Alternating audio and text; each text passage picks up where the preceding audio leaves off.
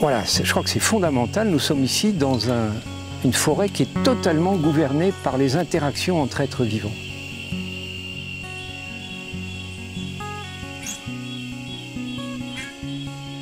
L'imbaoba, bois canon pour les Guyanais, Cecropia peltata pour les scientifiques.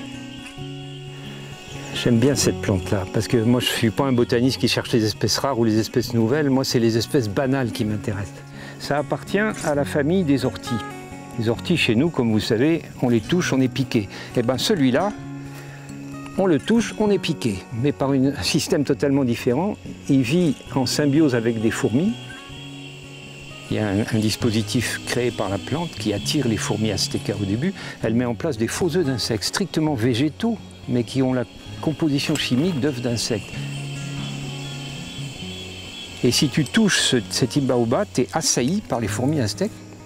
C'est des fourmis qui pincent, elles habitent là-dedans, elles ont donc un logement, et elles protègent l'imbaoba contre tous ses prédateurs.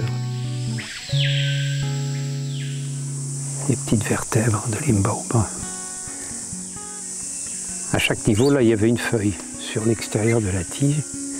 Et chaque feuille correspond à un petit diaphragme les fourmis percent pour avoir un, un nid qui fait du haut en bas du tronc.